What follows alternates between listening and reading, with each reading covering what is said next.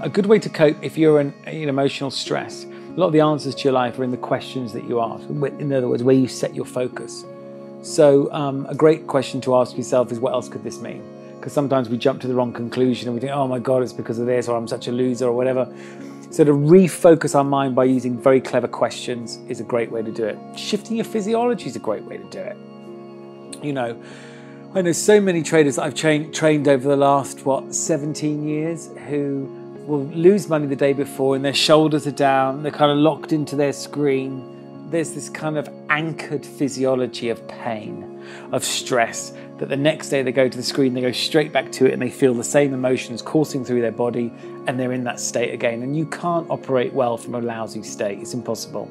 So, just having some routines and some rituals to get yourself into a great state, breathing deeply, hydrating yourself, keeping fit and healthy uh, focusing your mind on your outcome for the day, trading to your plan, are all great things to set yourself up to uh, to win. But if you are already finding yourself in emo- in emotional turmoil, there's been times in your life when um, you've been empowered, and there's been times in your life where you've been disempowered.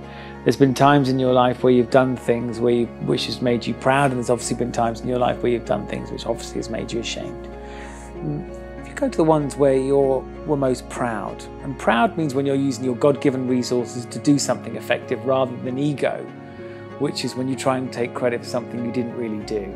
Pride, there's a submodality to it, to pride. What do I mean by a submodality? Well, we experience the world in, in three different guises. Visually, what we see, auditory, what we hear, and as we know, kinesthetic, what we feel. That's been known in the area of neuroscience and neurolinguistics and neuroassociative conditioning for many years, that we experience the world in a variety of visual, auditory, and kinesthetic modes or submodalities. There is a formula, like there is to anything else, there is a formula to you in your more empowered state, and there's a formula to you in your disempowered state. So, being able to take yourself back to a time when you were on your A game as opposed to on your D game, and remembering what you saw, what you heard, and how you felt. And answering like what, you saw was it something you saw in your mind, or was it something you physically saw around you? Was it something you heard in your head like words, or was it something you heard somebody say, or a noise or a sound? Or Was it a feeling you had in your body, or did you just feel a certain way, or did somebody touch you, or did you were you driving something or touching a computer? What was it? But if you can get down to what those submodalities are and organize them very much like the recipe to making a cake, and then create an anchor from that. And I just did this with a bunch of um, kids out in the Philippines who were in, were in let's say, an unresourceful state, and I took them back to a period of time. And I do this with traders all the time. You do a closed eye process, take them back to a time where they were proud, where they were most empowered. What did they see consistently at that time? What did they hear consistently at that time? And what did they feel consistently? And some of us experience life more visually, some of us experience life more kind of kinesthetically, and some of us experience more life auditory or a combination of all of the three. But what it is, and you kind of get down to what those submodalities were that make up the the, the formula of, of that recipe and then you get them to anchor it. And the nice way to anchor is imagine you have like a ball in your hand and you say, okay, so I take myself back to a, like I remember my first one was when I won this Professor Lamming Prize because I figured out the formula of how to get a first at university. And it was, what did I remember hearing? I remember all my mates, and I remember hearing uh, my mates clapping.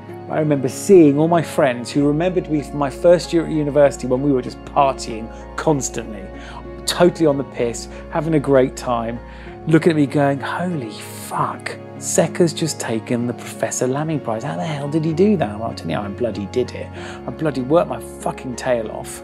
I was disciplined like hell. I had a structured way of doing it, and I figured out the formula for how to get a first. And I was interested in it. And I applied that same technique to the trading world. I figured out the formula that worked, I got really impassioned by it, found something I enjoyed in it, structured it. And then the times that I've ever kind of felt myself doubting myself, which we've all had, that concept of doubting yourself, you know, when you look at yourself like you're small, is putting yourself back into that state of when you were most empowered. And if you can do the homework up front, which is take yourself to the state when you were most empowered. For me, it was winning that award, seeing my mates going, holy fuck, Secker's won that award, seeing their faces. This was at University of Nottingham back in the 90s, and seeing that. And then I anchor. Imagine it's like a ball in my hand, like a snooker ball, and it's black and it's shiny, and I anchor it and I say a word. Then at any time when I'm in a really low state, and I'm feeling like I'm I'm questioning myself. Take myself back to that place, black ball in my hand, and that will fire off those same emotions because we are a big bag of chemicals in our body with a with an electrical nervous system running through it. And by anchoring and then triggering that anchor, very quickly I can get myself back in that state. In the same way, you can have an argument with your spouse and come home the next day and just see her or his face and go, ooh, because the last thing you remember is being in a heightened emotional state, arguing with that person. Then you see their face again, you're like, why do I feel angry right now? Why do I feel upset right now? Or why do I feel this way right now? Well, because you just got yourself anchored to the thing that was consistent when you were in a heightened emotional state, which was either love or anxiety or stress, was that person's face.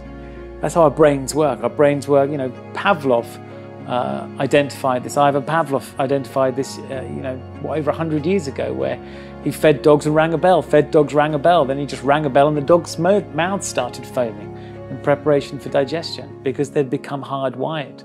And that's how we are. We are click were.